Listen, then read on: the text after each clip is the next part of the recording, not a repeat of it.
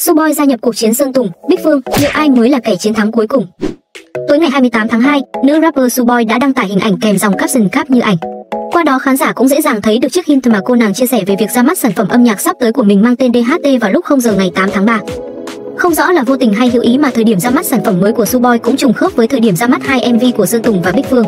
Như vậy đúng nửa đêm ngày 8 tháng 3 sắp tới, cả Sơn Tùng Bích Phương Suboy sẽ cùng đụng độ với sản phẩm âm nhạc mới, hứa hẹn sẽ là một đêm mất ngủ với fan nhạc Việt. Về Sơn Tùng, nam ca sĩ sẽ mang đến siêu phẩm chúng ta của tương lai, phần kế tiếp của MV ra mắt cách đây 4 năm, đánh dấu sự xuất hiện của Hải Tú. Còn với Bích Phương, cuối cùng cô cũng trở lại với nâng chén tiêu sầu sau 3 năm để fan chờ mòn mỏi.